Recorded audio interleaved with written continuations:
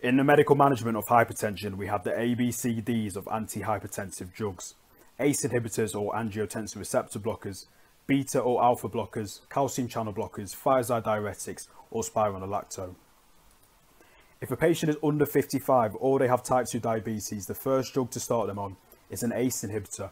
If they can't tolerate an ACE inhibitor due to side effects, then it's an angiotensin receptor blocker. If the patient is over 55 or Afro-Caribbean and they do not have type 2 diabetes, the drug to start them on is a calcium channel blocker. So if the patient is still hypertensive, we move on to step two. If they're already on the ACE inhibitor or the angiotensin receptor blocker, add a calcium channel blocker or add a diuretic. If the patient's already on a calcium channel blocker, add the ACE inhibitor slash angiotensin receptor blocker or add a diuretic. Step three, and they're still hypertensive, it's time for triple therapy of an ACE inhibitor slash angiotensin receptor blocker, calcium channel blocker and diuretic. And if they're still hypertensive, they're now into resistant hypertension.